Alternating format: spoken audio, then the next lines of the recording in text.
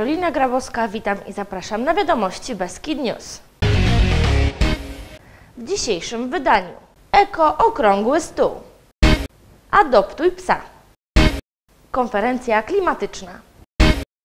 Badanie satysfakcji klientów Bielskiego Ratusza. Ogólnopolskie otwarte spotkania teatralne w Andrychowie. Propozycje Heliosa na najbliższy tydzień. Zaczynamy!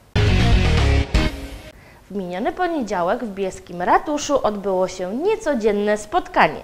Prezydent miasta Jacek Krywult powołał okrągły stół, w skład którego wchodzą m.in. ekolodzy i miłośnicy przyrody. Celem spotkania były negocjacje dotyczące inwestycji podjętych przez Urząd Miejski, w wyniku których pod topór musi pójść ogromna ilość drzew. Jak się okazało, większość z tych drzew będzie można uratować. A co o spotkaniu sądzą ekolodzy? To jest inicjatywa społeczna e, i głównym celem dzisiejszego spotkania w Urzędzie Miasta było e, nakreślenie, czy ten okrągły stół e, będzie miał swój ciąg dalszy, jakie mamy główne zadania w tym okrągłym stole dotyczące zieleni, a w szczególności drzew w mieście, bo to trzeba wprost powiedzieć, że chodzi nam o drzewa w mieście. I to, co dla mnie najistotniejsze, to, że przy stole siedziała reprezentacja organizacji społecznych, z drugiej strony pan prezydent Jacek Krywul oraz urzędnicy Urzędu Miasta. I była bardzo moim zdaniem dobra rozmowa E, zostały wymienione nie tylko problemy, ale jak je można rozwiązywać i jak ma wyglądać przyszła współpraca, żeby nie dochodziło do rzeczy, które na przykład ze strony społecznej uważaliśmy, że nie, nie powinno do nich dochodzić, jeśli chodzi o na przykład pielęgnację czy wycinkę drzew w Bielsku Białej. Zieleń miejska jest zagrożona i dlatego musieliśmy doprowadzić do tego spotkania, dlatego no po prostu były naciski społeczne i cała presja, która doprowadziła myślę do, do właśnie dzisiejszego spotkania. I ponieważ no, źle działo się w mieście z drzewami. Plany, które miał ratusz, które ma ratusz, po prostu były przez nas nieakceptowalne. I mam nadzieję, że na spotkaniu roboczym, na którym mamy wypracować y, jakieś zmiany, będzie, będzie dużo, dużo fajnych, konstruktywnych pomysłów. Myślę, że jesteśmy na dobrej drodze, aby wypracować jakąś wspólną drogę dbania o zieleń w Bielsku Białej. Ze strony Urzędu Miasta mamy deklarację chęci współpracy i próby obronienia tych drzew, które jeszcze nie zostały wycięte, a już są decyzje, aby to wykonać. Fundacja SOS Animals z Częstochowy gościła ostatnio w naszym mieście. Celem ich wizyty była akcja Adoptuj psa. Jak powszechnie wiadomo, życie bez psa jest możliwe, ale dużo smutniejsze. I w myśl tej zasady Częstochowska Fundacja zachęca do psich adopcji. SOS Animals od lat działa w obronie maltretowanych, głodzonych i bezdomnych zwierząt. Fundacja bardzo często odwiedza nasze miasto, ponieważ właśnie w Bielsku Białej spotykają się z ogromną życzliwością i zainteresowaniem adopcjami. Należy pamiętać, że adopcja psiaka wcale nie jest taka łatwa. Osoby, które chcą przygarnąć pupila, muszą spełnić wszystkie wymogi stawiane przez pracowników fundacji. Przed adopcją Marzena Trębicka i Krzysiek Skiermut prowadzą dokładny wywiad środowiskowy w okolicy, w której piesek ma zamieszkać. Zajmujemy się przede wszystkim pomocą bezdomnym, krzywdzonym zwierzętom. E, przeprowadzamy interwencje dotyczące złego traktowania zwierząt, e, kontrolę dobrostanu, no i sporadycznie zajmujemy się również zwierzętami bezdomnymi, głównie po wypadkach komunikacyjnych. A co o takiej adopcji sądzą bielszczanie? Bardzo fajne to jest, bo zawsze y, można pomóc zwierzętom jakieś tam, a jak one tak się plątają po ulicy i nie wiadomo co z nimi, no to jest takie niefajne.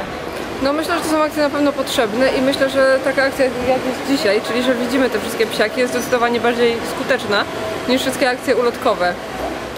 No myślę, że to bardzo dobra sprawa. Gdzieś te psy muszą mieszkać. Ach, powinny też ktoś o nich dbać, także jak najbardziej. Wśród psiaków, które zawitały do Bielska, był Franio. Był to dla niego naprawdę szczęśliwy dzień. Tak, właśnie rodzice się zgodzili i najprawdopodobniej tego pieska będziemy mieli dzisiaj, mamy wizytę, tak i zobaczymy. W minioną środę w Starostwie Powiatowym w Bielsku Białej odbyła się regionalna konferencja klimatyczna realizowana w ramach projektu Dobry Klimat dla Powiatów. Głównym tematem konferencji zorganizowanej przez Instytut na Rzecz Ekorozwoju i Związek Powiatów Polskich były możliwości dofinansowania projektów związanych z ochroną klimatu.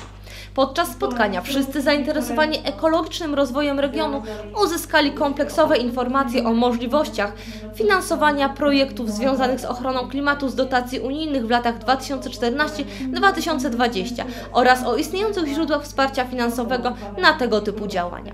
Zaproszeni na konferencję eksperci doradzali samorządowcom, jak w praktyczny sposób rozpocząć w regionie działania proekologiczne. Od 10 marca na zlecenie Śląskiego Związku Gmin i Powiatów, stowarzyszenia działającego na rzecz rozwoju samorządności lokalnej, będą prowadzone badania satysfakcji klientów Urzędu Miasta w Bielsku Białej na temat jego funkcjonowania oraz wybranych aspektów życia związanych z dostarczeniem usług publicznych. Pozyskane w wywiadach informacje wspomogą zarządzanie urzędem. Wiosna w Teatrze 2014 ogólnopolskie otwarte spotkania teatralne już od 27 marca w Andrychowie. W trakcie 7 dni trwania festiwalu wystąpi ponad 400 wykonawców z całej Polski. W jury tegorocznej edycji Wiosna zasiądą m.in.